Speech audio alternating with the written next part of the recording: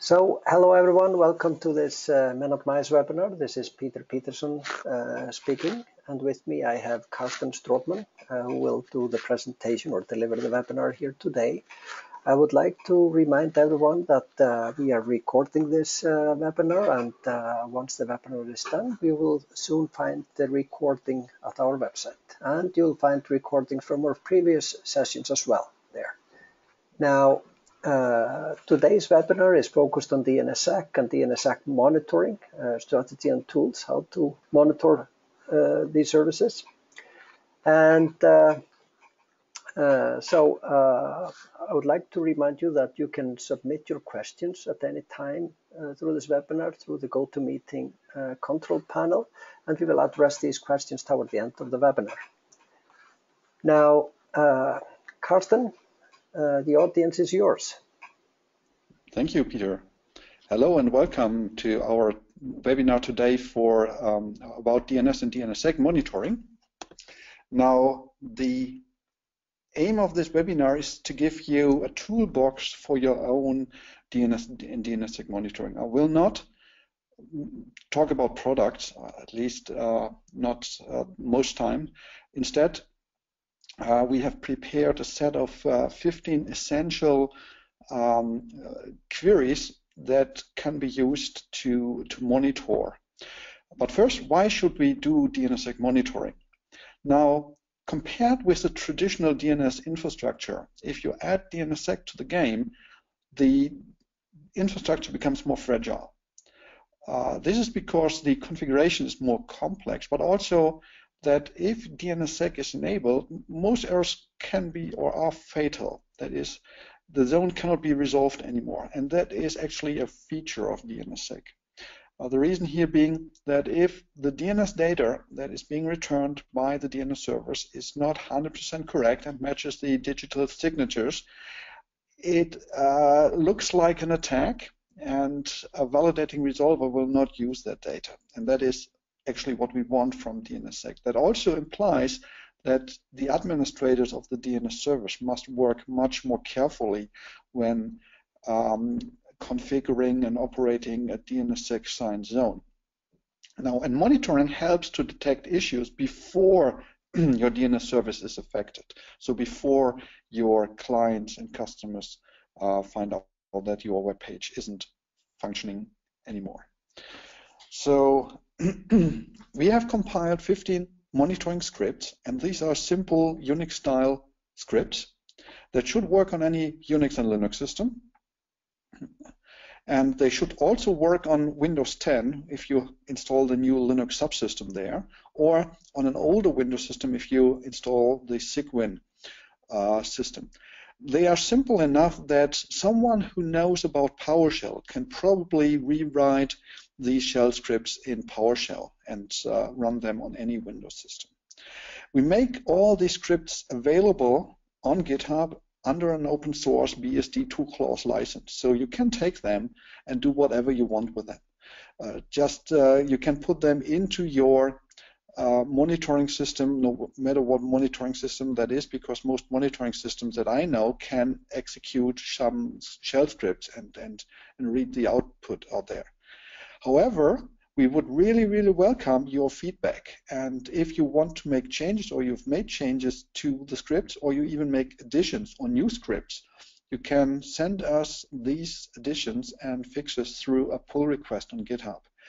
Now, if you ever worked with Git and GitHub, you might know how that works. If you don't, you can ask us. Uh, send us feedback and questions to support at menandmice.com and we will try to help you there. So the scripts are deliberately simple. They are as simple that each test fits on one slide. So it, it is made that way that even a DNS administrator, which is not a scripting wizard, should be able to understand how the script works, what it does, and how to implement and uh, maybe adjust the script to his own needs. Each script takes just one input parameter, which is the domain name of a delegated zone.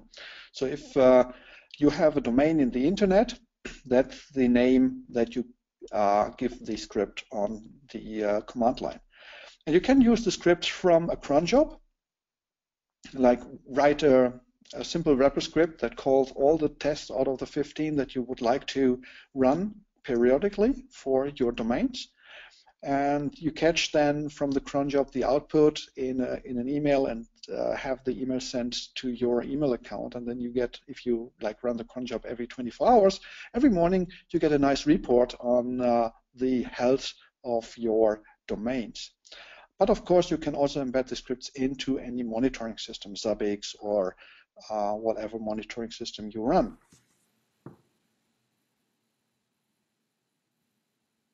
First, we start with the DNS server tests. The first test tests if the DNS servers, the authoritative ones for the zones, are available over UDP v4.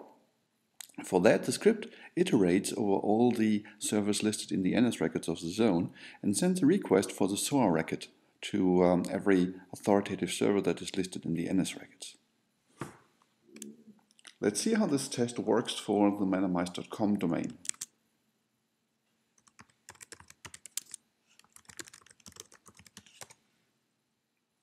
So here we see all the servers have been queried and they all respond.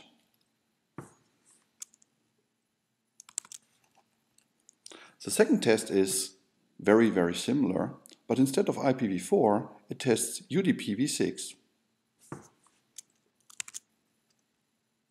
So let's check if that also works. And I'm taking different domain here, dnsworkshop.org. dnsworkshop.org just has two name servers that are reachable over IPv6, and we see them here. They both respond. Now that we have tested UDP connectivity both for IPv4 and IPv6, we can do the same for TCP. Now remember that the DNS protocol sometimes switches over to TCP. That happens, for example, if a DNS server needs to answer a query and the answer is too large to fit into a UDP answer packet.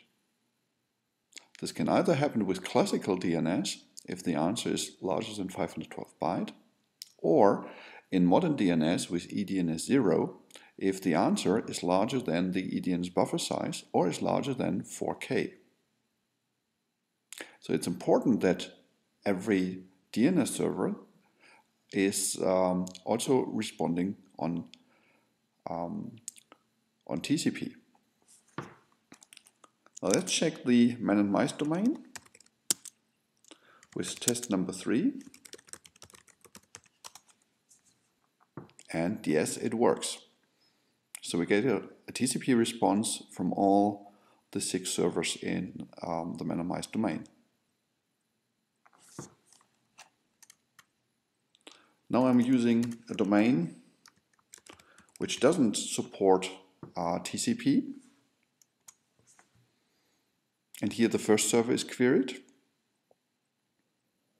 And the test will run on a timeout and will, will return an error. The scripts return both an error message and a return code greater than zero indicating that something is wrong.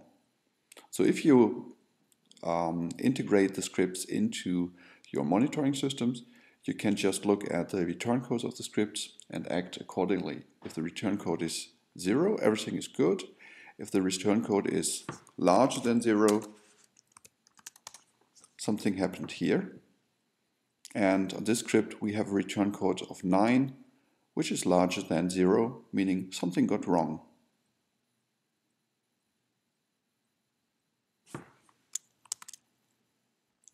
Test number four tests also TCP, but this time it's TCP over IPv6.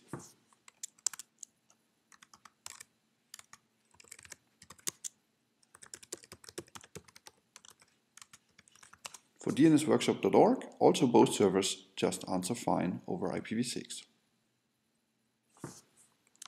Now these first four tests were very basic. The next test tests for the eDNS response size.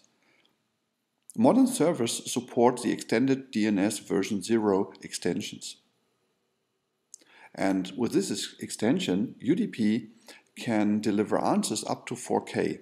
However, currently in the internet, there is a practical limit of 1232 bytes. This is because in the internet we want to prevent IPv6 fragmentation from happening. And 1232 byte is the guaranteed payload that will never be fragmented when sent over IPv6. So we edit in the script our eDNS policy, that is the value that we want to see from our servers. And the script will test whatever the server is indicating. The purpose of this test is to figure out that our servers are really responding how they should be and so that we can catch any regressions maybe that happen through an update.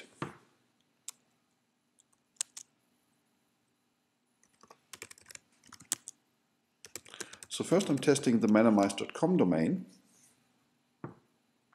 and all the menandmice.com servers are responding with an eDNS0 buffer size of 4096k, uh, uh, sorry, 4096 bytes, which is the default for eDNS0, but it's too high for IPv6.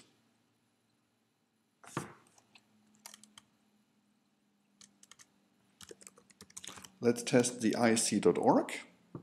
We see also there is 4096 byte. For dnsworkshop.org, we have lower values, and the server ns4titlelock.de has a buffer, buffer size of exactly 1032, which is detected as good here. And the other one, the NS5, has an even lower buffer size of 1220, which is out of the policy range of this test. Be aware that you should adapt this test and the script for your needs and your own configurations. So um, change the policy value to whatever value you have configured on your DNS servers.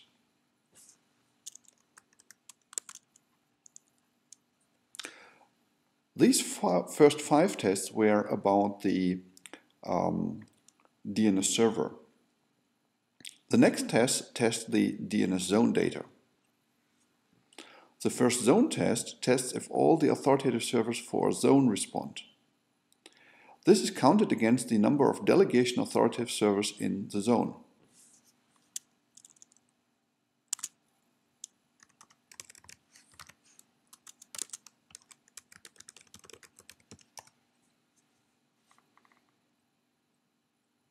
For the domain menandmice.com, all authoritative servers answer.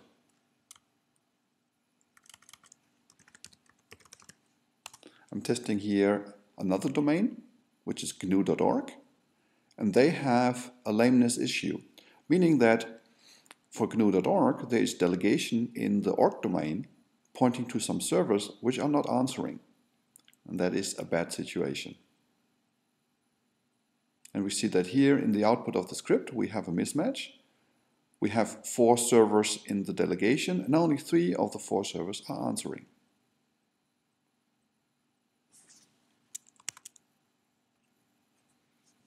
Test number seven, test if all the authoritative servers for a zone respond via TCP.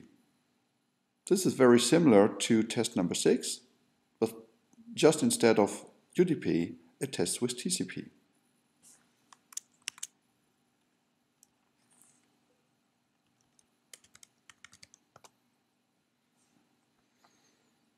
And for menandmice.com, everything is good. And for gnu.org, we would see the same issue. Sometimes if there's a misconfiguration in some firewall, we would see that UDP is going through, but TCP is being blocked. And test number seven would detect this.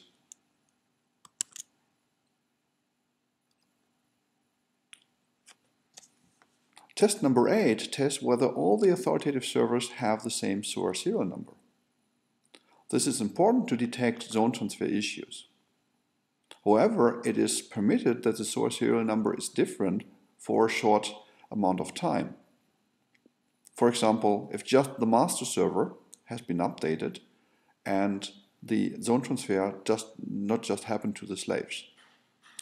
So in order to build this test into a monitoring system, you should test with this test every five minutes. And the test should issue a warning if the same SOA difference is seen in two successive tests. If then the same SOA difference is also seen after three or more tests, an event of an error event should be generated. This is the script that tests for the SOA record. It iterates over all the authoritative servers, collects the SOA serial number, and compares it to the other values.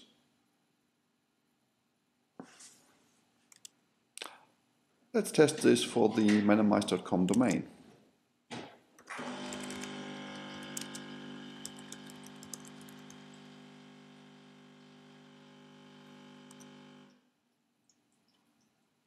Here we see that all the servers for the menandmice.com domain have the same SOA serial number.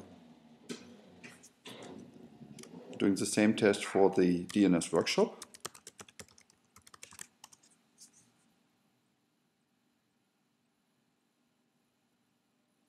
And we see here all the servers for DNS Workshop also have the same serial number.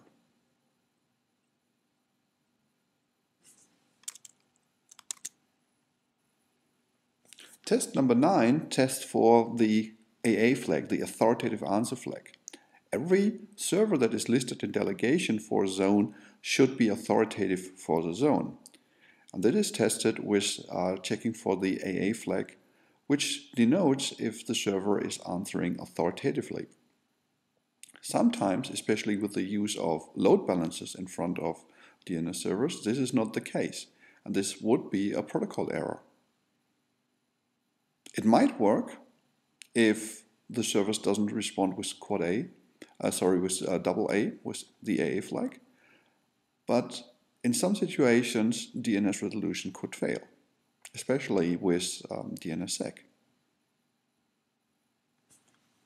Now let's see how DNS, uh, how the test number nine looks like.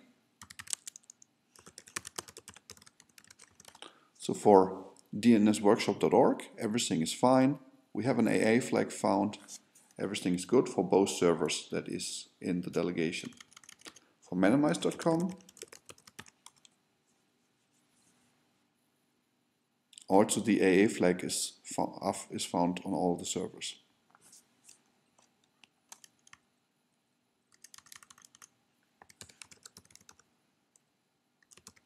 For Outlook.com, everything is good as well.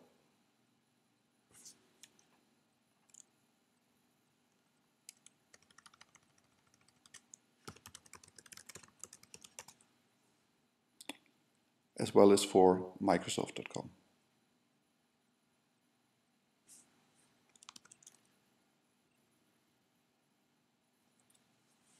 Test number 10 looks for the parent-child NS record set. Um, the NS records that are used in delegation in the parent zone should always match the NS records used in the zone data. And this script of test number 10 will first collect the NS records from one of the authoritative servers for the top level domain, which is the parent of the zone. And then it will compare that data with the uh, NS records that are stored in the zone. Now this test, for simplicity reasons, um, works only if the parent domain is a top-level domain. However, it should be rather trivial to adapt this script to work on third level and uh, other domains which are below the top level.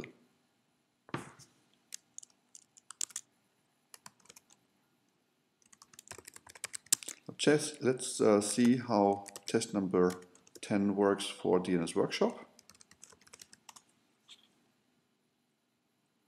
And here we have the parent delegation lists the NS4 title log and NS5 title log, and the child zone data has the same information.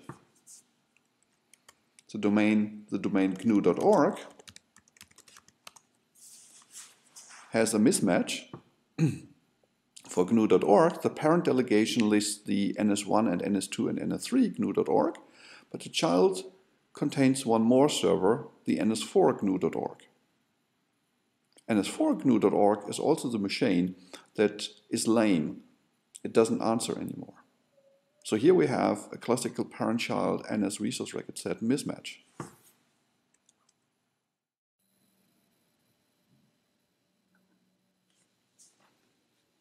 The last five tests are DNSSEC specific.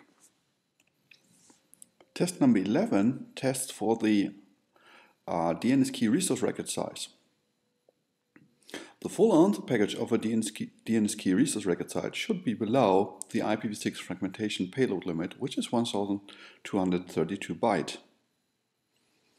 So this script will request the, all the DNS key records from a DNSSEC signed zone, and then we'll check for the size of these records.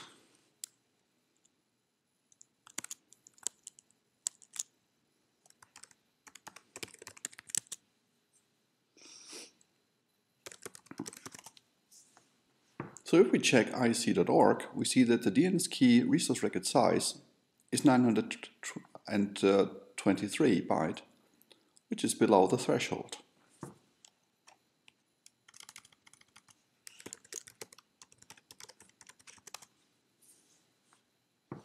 And for DNSworkshop.org, because it is signed with uh, a large key, the DNS key resource record size is uh, too large at least too large for um, IPv6 fragmentation.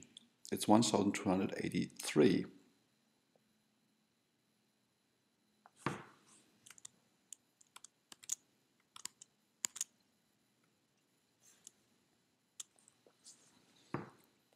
Test number 12 checks for the validity of the signatures. In DNSSEC, DNSSEC signatures have a lifetime. They have a starting date and an end date, an expiry date. This test should be performed for every important resource record set into zone. The script that we have here as an example makes the test for the SOA record, but you should adapt the script also to do the same test for DNS key, MX records, and all the A and Quad A records in your, um, in your zone. From testing the RRSIG, there can be four different failure states. It is an error if the inception time is in the future, meaning that the signature is not yet valid. This is because most uh, automatic signers, they, when, if they create signatures, these signatures start uh, one or two hours in the past. It is also an, issue, uh, an error if the expiry time is in the past, meaning that the signatures are already expired. A warning, a warning should be given if the expire will be reached in less than five days, because usually that means that the automatic re-signing of the zone is broken. And it's an error when the, if the expired time is reached in less than two days, because then the administrator should act immediately because there's danger that the zone goes bogus, meaning that the zone data cannot be resolved anymore. So this is the script. It first looks for the current date and converts it into the same format as used by the signatures. And then it requests the uh, signature for the SOA record and cuts out the inception time and the expiry time. And then it compares these times to the current timestamp. And then it does some calculation to shift the um, current time two days ahead and five days ahead and tests against the expiry.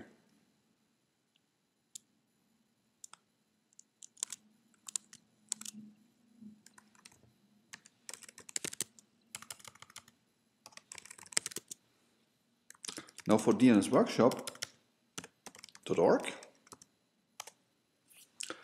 um, the inception is in the past. That was um, in um,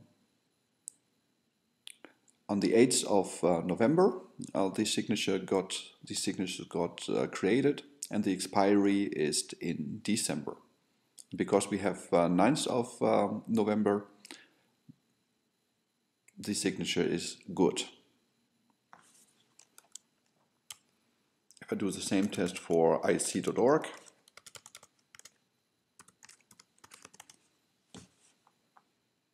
We see also everything is fine. Uh, today's timestamp is in between inception and expiry time.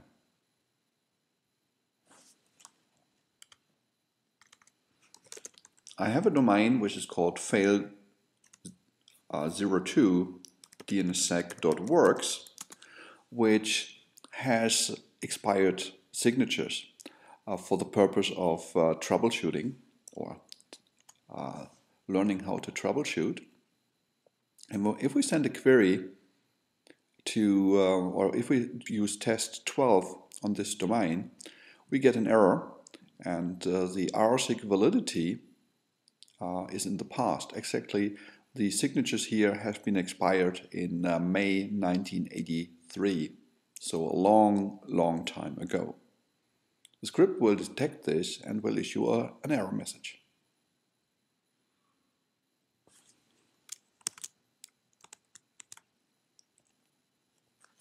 Test number 13 tests the DS record. Test the number and the contents of the DS record of the parent zone. And it issues, it issues a warning if the count or the content of the DS record changes. This is important to detect unauthorized changes to the zone uh, or even uh, the removal of DNSSEC from a zone. For this, the script will store the content and the number of DS records from previous tests and will compare the current test with the data from the previous tests.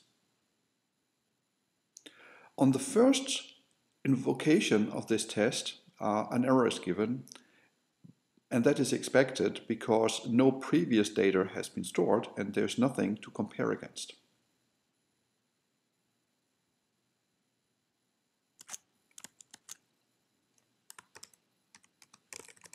So test 13 for dnsworkshop.org. Here I get these error messages because the um, files with the saved content were not available. So I get a warning that the DS record has changed. But now on the second invocation, everything is okay because the DS record is the same as last time tested and the number of DS record is also the same. So we get now an OK unless the DS record will change. In which case we get a warning message again and an error code.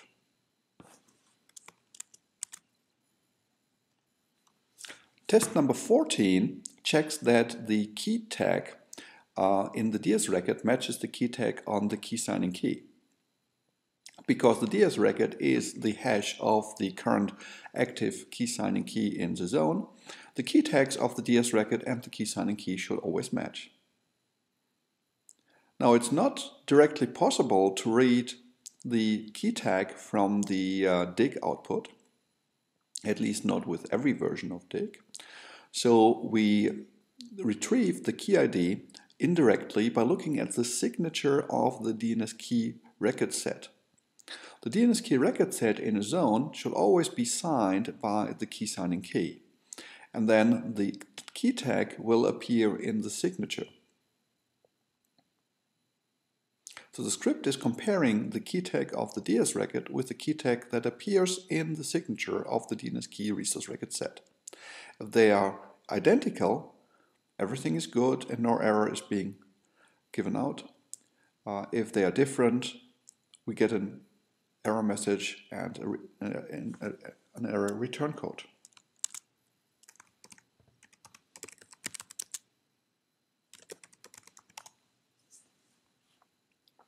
For ISC.org, everything is okay. Key tag matches the key tag of the RRSIG and the DNS key. And also DNS Workshop should be good.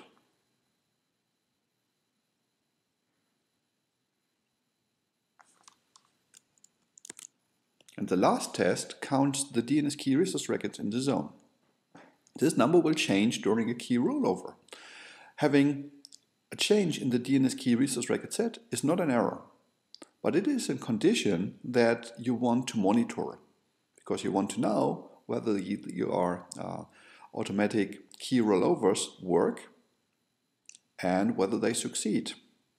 Meaning that when the key rollover has finished, the number of DNS key resource records go back to a normal count. Usually two or three, depending whether you have an emergency rollover key or not. Again, this script creates a save file, and on the first invocation, it will always give an error. But on all subsequent um, invocations, it should be just good.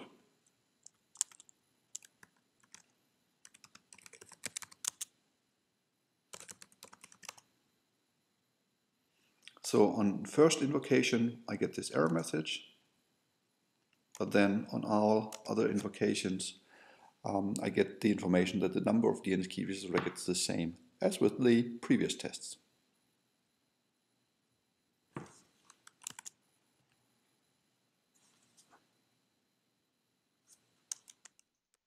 So these were the 15 scripts that uh, we have prepared. Some tips in using them. Um, if you use a DNSSEC monitoring system, it would be good if this monitoring system could also write an audit trail of your DNSSEC zone changes, especially changes to the DNS key resource record, meaning the key ID and the SOA serial number uh, changes. And uh, change that, uh, uh, save that to a file, and that file should always be appended, and you want to have the uh, date and time when the change is being detected. With that, you always know when um, a key rollover happened and at what point of time uh, a new key was introduced in the system and the old key is removed. And you should do the same for the DS record. Uh, usually the DS record will change a little bit later than the DNS key record because uh, first new DNS keys will be brought into a zone uh, the publish time um, to wait until the new DNS key record is in all the caches, and then the DS record will be exchanged in the parent zone. You also want to have the key ID of the DS record and the SOA serial number of the parent zone uh, stored in that uh, audit trail. Of course, there are open source products that do the same or even more than I've shown here. There is the DNSSEC tools from the Swedish top-level domain. You can also find uh, that on GitHub. It's open source. Uh, VeriSign, the people who run the root name server system, or some of the root name servers at least, and uh, COM and NET, they have the JDNSSEC tools written in, in, Java, and they also have the yet another zone validation script, um, which you see below, also two open source uh, solutions. Then the LDNS uh, package has LDNS verify that can be used to uh, verify a DNSSEC signed zone. Um, with that, you can uh, use dig to, to download a zone to, um, to a file and then run LDNS verify on that zone and it will report something like uh, signatures that are invalid. And then there is a, a Nagios plugin. If you run uh, Nagios as your um, monitoring tool that is also available on GitHub and it is written by uh, um, our trainer colleagues Jan Piet Mens. And then we have Key Checker, which is a monitoring tool especially for key rollovers. Uh, and that key checker writes this uh, audit trail of um, key IDs in for the DNS keys and the DS records, also available on GitHub. And then two external tools or websites that uh, you can use for DNSSEC monitoring. There's ZoneMaster, which is a collaboration of the French top-level domain registry uh, and um, the Swedish uh, top-level domain registry.se. Uh, it's called ZoneMaster, and you find that on zonemaster.net.